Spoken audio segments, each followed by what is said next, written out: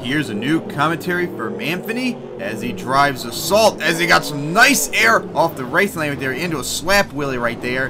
And now turn around as he's on two wheels right there, got the save as he's going to go right for the bus stack right there. Huge sky wheelie right there as he takes a hard hit and he's going to go over right there as he's still flipping over right there as he's going to get the save right there.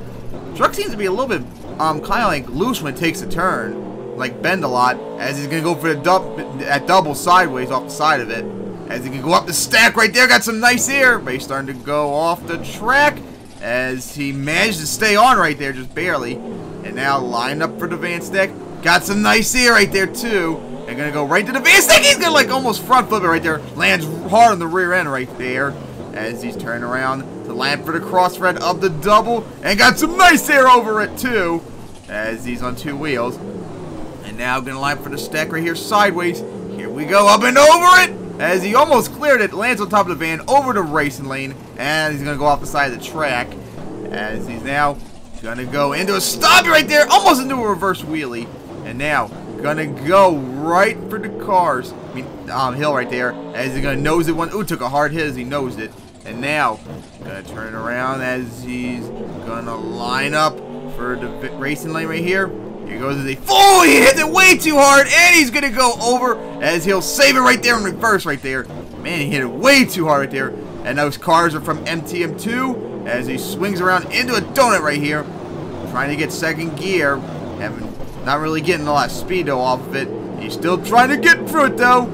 As he swings around right there on two wheels, got the save right there. And now, here we go. Right for the van stack right there. And now up couldn't get a slap wheelie going. Gonna go for the van stack right there. Hits the side of it right there.